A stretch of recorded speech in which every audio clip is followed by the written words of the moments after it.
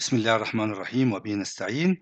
بنستكمل اليوم موضوع خصائص الموائع وبنشوف النهاردة خاصية من الخواص المهمة جدا هي ال compressibility and bulk modulus of elasticity إحنا شفنا المرة اللي فاتت تعريف الكثافة وشفنا ال specific volume.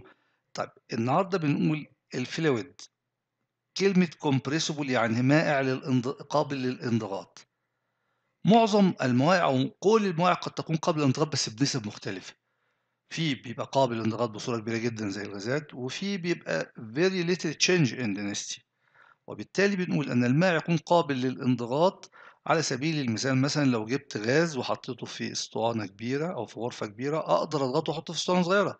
يبقى ده قابل للانضغاط بسميه compressible fluid لكن لو جبت غرفة كبيرة من المية هل أضغطها وأحطها في كونتينر أصغر؟ لا. لأن little change in density ولذلك إذا كان التشينج في الدنستي غير ملحوظ بسميها incompressible fluid. ال compressibility of fluid is expressed by its bulk modulus of elasticity إن أنا بحدد ده بتعريف معامل المرونة لهذه المادة which describes the variation of volume with a change of pressure.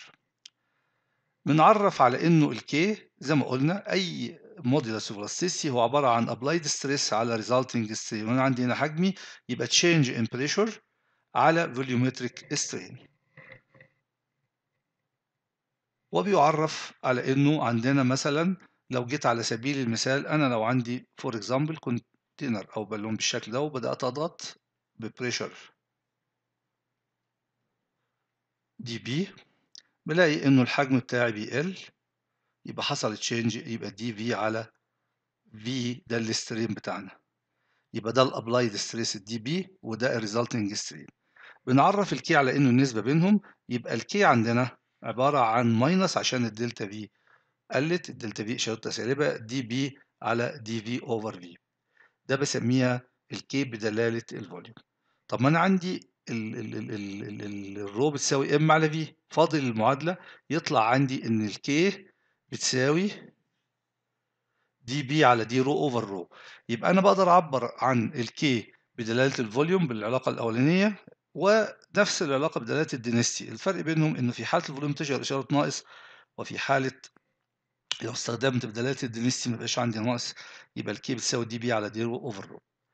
لو إحنا بصينا لل incompressible زي السوائل كلها بلاقي ال change في ال density صغير جدا قد يصل إلى ال zero وبالتالي ال K لما اقسم اي كميه على قيمة رمزها هلاقي كمية كبيرة جدا وبالتالي تلاقي ال values بتاعت ال liquids القيم بتاعتها كبيرة جدا يعني 2.5 في 10 اس 9 وده في 10 اس 9 يبقى السوائل أما لو جيت للغازات بلاقي ال compressible ال K بتعتمد على نوع ال process يبقى أنا عندي هنا ال modulus of elasticity أهميته بيقيس مدى ال compressibility بتاعتي. ال unit بتاعته نيوتن على متر square.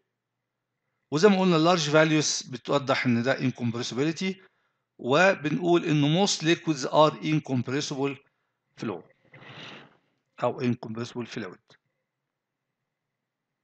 يبقى إحنا شفنا تعريف ال modulus elasticity وشفنا أهميته في تعريف مدى قابلية المائع للانضغاط ولقينا إنه بالنسبة للسوائل قيم ال K بتكون كبيرة جدا أما بالنسبة للغازات بتعتمد على نوع ال process.